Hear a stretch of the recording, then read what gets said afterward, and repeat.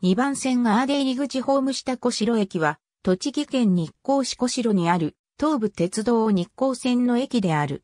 駅番号は TN21。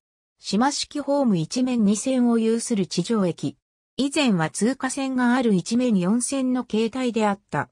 無人駅だが、駅舎内には特別改札用の窓口とパスモ簡易改札機が設置されている。簡易委託駅であり、乗車券は駅裏の利用店で発売している。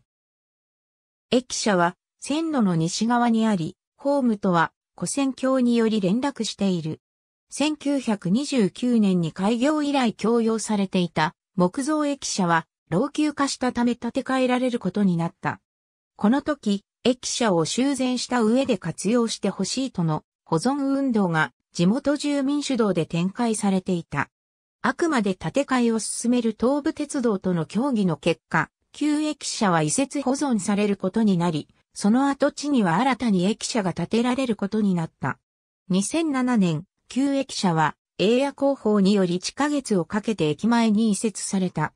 旧駅舎は移設後、2005年に撤去されていた日差しを復元したり、老朽化した部分の修繕を施された。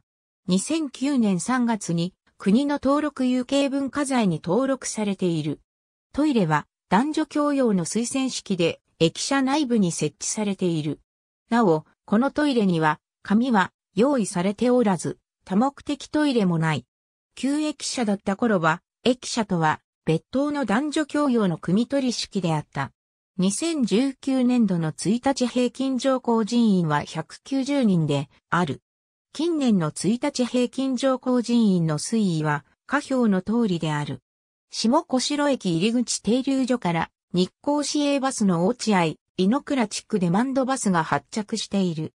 駅前の道路は栃木県道70号を宇都宮今市線に接続し、小城なめ川庵のほか、おじか庵、さ、みそば、野立庵、三立そばがあり、そば街道の別称がある日光杉並木街道も、都保険である。